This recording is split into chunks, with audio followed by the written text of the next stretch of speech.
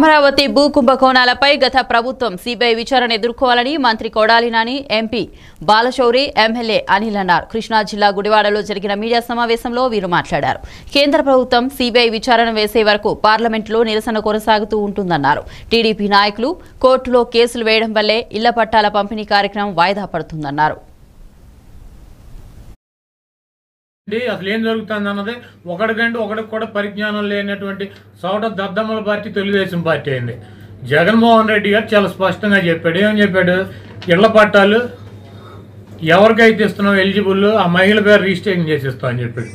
గతంలో చంద్రబాబు నాయుడు కట్టినటువంటి ఇళ్ళను కూడా eighty percent ninety percent complete చేసిన ఇళ్ళను కూడా మేము ఆ మహిళ ఎవరైతే లబ్ధిదారులు ఉంటారో ఆ- ఆ గృహిణి పేరు రిజిస్ట్రేషన్ చేసి ఐదు సంవత్సరాలకి వాళ్ళు అమ్ముకునేటట్టు హక్కు కల్పిస్తాను.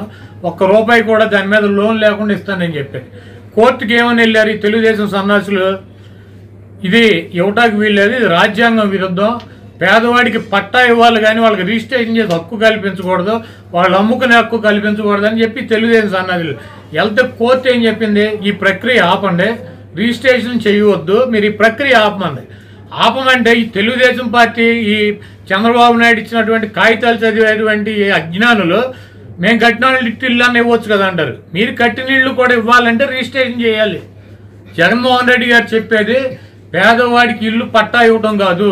వాళ్ళ పేరు లోన్ ఇచ్చి డబ్బులు ఇచ్చి అప్పు ఇవ్వటం కాదు. వాళ్ళకు ఉచితంగా ఇల్లు రిజిస్ట్రేషన్ చేసి ఇవ్వాలని చెబుతున్నాడు. ఇల్లు రిజిస్ట్రేషన్ చేసి ఇవ్వాలంటే ఈ కోర్టులు కుదరదని చెప్పి ఆపినాయి. ఇప్పుడు గుడివాడలో ఒక వెయ్యి ఇళ్ళు అయిపోయి ఉన్నాయి. వాటిని ఇవ్వాలంటే రిజిస్ట్రేషన్ చేయాలి. జగన్మోహన్ రెడ్డి గారు రిజిస్ట్రేషన్ చేయమన్నారు. రిజిస్ట్రేషన్ చేయడానికి తెలుగుదేశం పార్టీ కోర్టులు ఒప్పుకుంటాయా?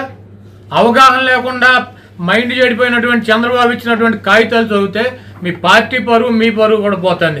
చంద్రబాబు నాయుడు మానసిక జబ్బుతో బాధపడుతున్నాడు. అల్జిమర్స్ జబ్బు అతనికి మతి మరుపు. మీరు నేను ఒక ఉదాహరణ చూస్తాను మీరు కావాలంటే వెరిఫై చేసుకోండి. మనందరికీ తెలుసు. తెలంగాణలో తెలుగుదేశం పార్టీ ఇనాక్టివ్ అయిపోయింది. తెలంగాణలో తెలుగుదేశం పార్టీ ఏడు సంవత్సరాల నుంచి ఎటువంటి క్రియాశీలకంగా లేకుండా డమ్మీ అయిపోయింది. అక్కడ ఉన్నటువంటి అధ్యక్షుడు తెలుగుదేశం పార్టీ అధ్యక్షుడు తెలంగాణకి రావణ తీసేసి వేరే వాళ్ళని వేయాలని చెప్పి అక్కడ ఉన్నటువంటి తెలుగుదేశం కేడర్ చంద్రబాబు నాయుడుకి ఉత్తరాలు రాసినాయి. దానికి ఈయన పొడుకునేటప్పుడు అధ్యక్షుడిని మార్చాలి అధ్యక్షుడిని మార్చాలని చెప్పి